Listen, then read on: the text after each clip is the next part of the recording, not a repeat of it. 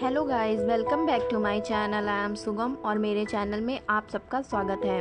Guys हमारा आज का टॉपिक है weight loss drink and weight loss tea friend जैसा कि आप सबको पता है कि हमारी इस दौड़ भाग भरी लाइफ में मोटापा एक आम समस्या है। लगभग 10 में से 8 लोग इस समस्या को फेस कर रहे हैं। तो फ्रेंड्स इसी प्रॉब्लम को कुछ कम करने के लिए मैं यहाँ पे weight loss drink and weight loss tea लाई हूँ जो आ, आपकी इस समस्या को दूर करने में काफ़ी हेल्प कर सकती है। फ्रेंड्स इस ड्रिंक और इस टी का मेरा किंग इंग्रेडिएंट है सिनेमन यानी दालचीनी और जिंजर गाइस टाइप टू मधुमेह वाले रोगियों के लिए दालचीनी किसी वरदान से कम नहीं है और यह शरीर की इंसुलिन को, के प्रति प्रतिक्रिया को बढ़ावा देता है और इस प्रकार शुगर लेवल को नॉर्मल बनाए रखने में हेल्प करता है। जो लोग परीक्षा की चिंता या घबराहट से चिंतित हैं, वे मन को शांत रखने के लिए दालचीनी से बनी हुई चाय पी सकते हैं। यकीन मानिए फ्रेंड्स, यह वास्तव में आपकी चिंता को कोसों दूर बेच सकती है। और गाइस हमारी इस टी को बनाने के लिए आपको वन एंड हाफ़ कप पानी को बॉईल करिए। उसमें वन इंच जिंजर ग्रेट करके डालिए। वन स्टिक सिनेमन डाल के उसे तब तक बॉईल करिए जब तक उसका कलर ना चेंज आए, हो जाए और उसे स्ट्रेन करके।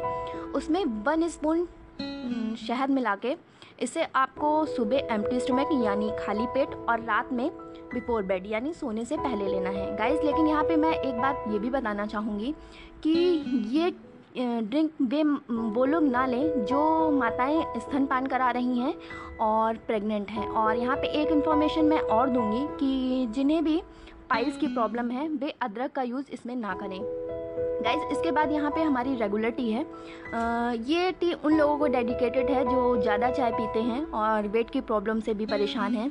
तो गाइज़ आपको इस चाय में कुछ नहीं करना है। जैसे नॉर्मल चाय आप बनाते हैं वैसे चाय बनाइए। बस आपको इसमें आ, शुगर ऐड नहीं करनी है। और आप इसमें जिंजर ऐड करिए नॉन रेगुलर टी यूज़ करिए।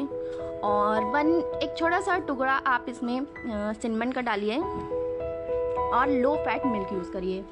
और ये आप चाय कभी भी पी सकते हैं बट आपको ये ध्यान रखना है कि ये जो मेरी ड्रिंक है, ये आपको सुबह खाली पेट लेना है और रात में सोने से पहले लेना है और ये रेगुलर टी है, आप कभी भी ले सकते हो।